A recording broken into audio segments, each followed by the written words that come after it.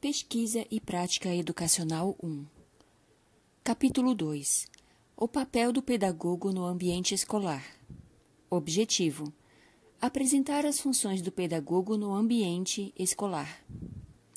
Na unidade anterior, discutimos sobre a formação do profissional da pedagogia. Você relembrou a origem desse profissional e estudou leis antigas e atuais sobre a formação do pedagogo.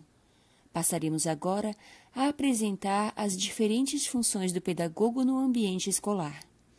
Esperamos que você veja como uma oportunidade para conhecer melhor os possíveis espaços de atuação do profissional de pedagogia e comece a se identificar com algum deles. 2.1 O pedagogo e as distintas possibilidades de ação na escola. A escola é a organização social constituída de diferentes atores educativos. Tem gestores, pedagogos, professores, alunos, funcionários, pais, dentre outros, em que as relações são orientadas na expectativa de transmissão de saberes, historicamente acumulados e socialmente eleitos como sendo importantes para a formação do indivíduo e da coletividade. Artigo 21. A educação escolar compõe-se de 1. Um, educação básica, formada pela educação infantil, ensino fundamental e ensino médio. 2. Educação superior. Outras modalidades de ensino brasileiras: educação de jovens e adultos, ensino fundamental e médio, educação profissional ou técnica, educação especial e educação à distância e educação indígena.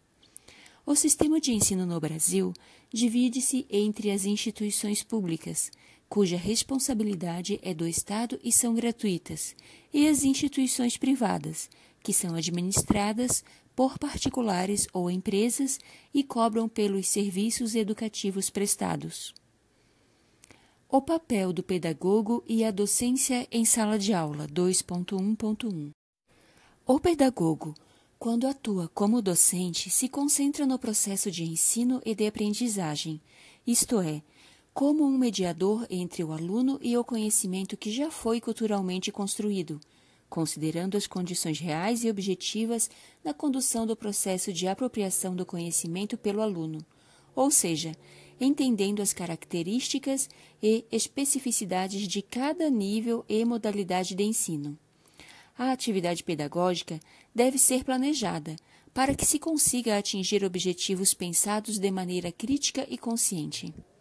O pedagogo, enquanto docente em sala de aula, pode atuar na educação infantil, no ensino fundamental, de primeiro ao quinto ano, ensino superior, educação de jovens e adultos, educação especial, educação indígena.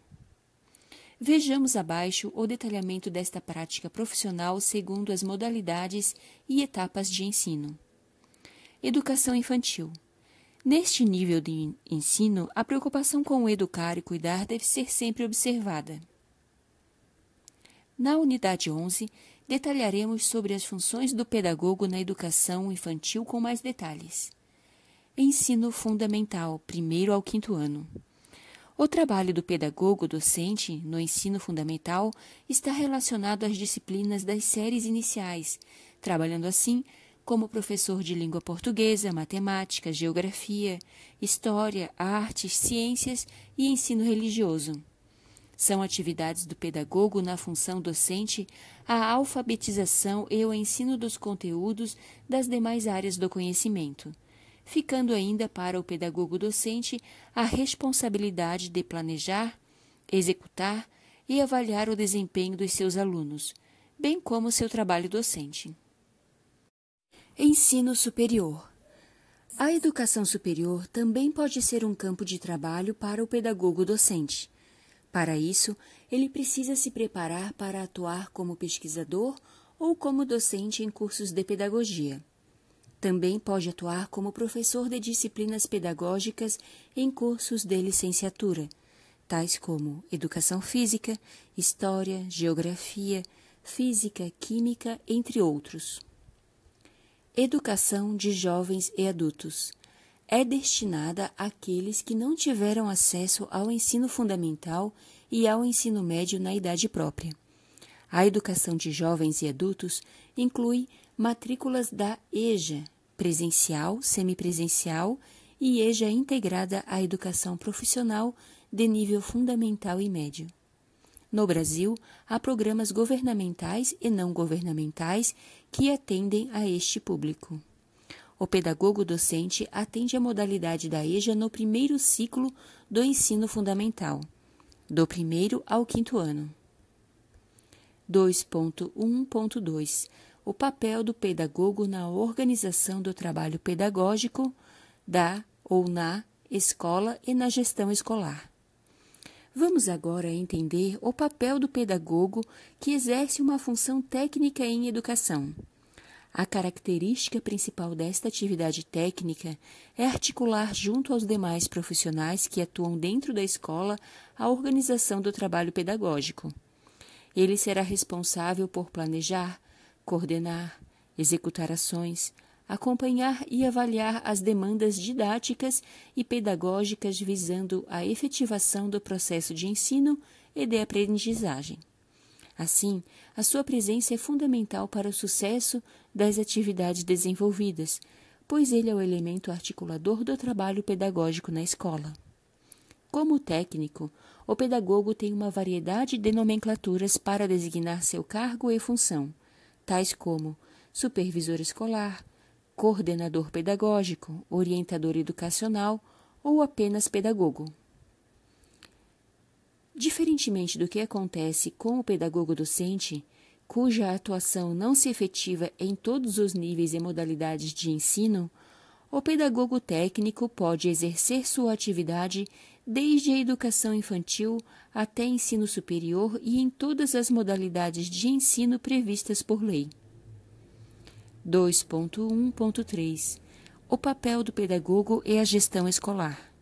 Como vimos no tópico acima, o papel do pedagogo na organização do trabalho na escola é uma função técnica e já encerra em si demandas da gestão. Entretanto, na escola normalmente é designado de gestor aquele que ocupa o lugar de diretor da unidade de ensino.